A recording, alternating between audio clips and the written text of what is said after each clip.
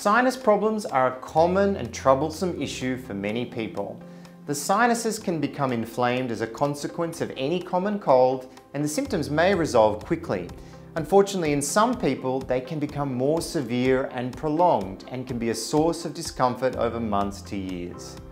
The symptoms of sinus problems may include breathing problems through the nose, a runny nose, a drip down the back of the nose, also known as a postnasal drip, a loss or reduction in the sense of smell, facial pains or headaches, or sometimes a chronic cough. Chronic rhinosinusitis is an inflammatory condition of the nose and sinuses lasting three or more months. It's really an umbrella term for a range of clinical conditions that eventually present with similar symptoms. The diagnosis is considered when two of the following are present. Nasal obstruction or a blocked nose, a runny nose or drip down the back of the nose, facial pain or headaches, or a loss or reduction in the sense of smell. Chronic rhinosinusitis has a large number of possible causes and more than one factor may be present in an individual. Anatomical problems include a deviated septum, enlarged turbinates, or extra sinus air cells. Allergic rhinitis or hay fever can be an issue. A chronic bacterial or even a fungal infection can be the cause.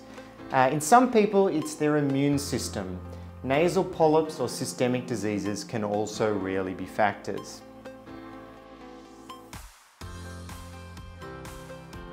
The first step is to visit your GP and discuss the problems you have been having.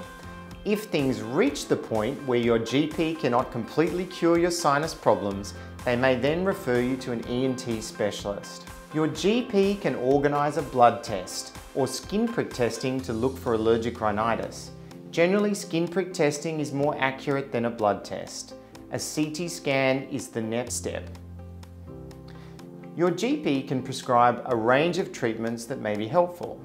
These include nasal steroid sprays, oral antibiotics, often given over a three-month period, antihistamine tablets and sprays, nasal saline sprays and rinses, and occasionally oral corticosteroid medications like prednisone.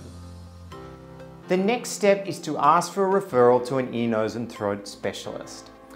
An ENT specialist will begin by going over the history of your sinus symptoms and trying to organise them to diagnose possible contributing factors. They will use a tiny telescope to then look at the lining of your nose and sinuses.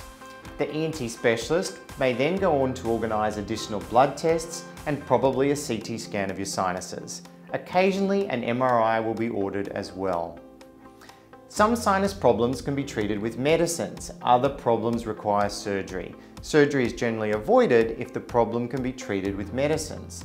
Specific problems that are treated with surgery include a deviated nasal septum, narrow sinus openings, additional drainage pathways and air cells, enlarged inferior turbinates, or nasal polyps.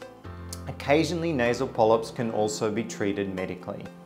Sinus surgery is generally very safe, but like all surgery, there are risks that need to be considered. Safety has improved considerably in recent years with the advent of high definition cameras, endoscopes and image guidance. We look forward to seeing you at North Shore Private Hospital.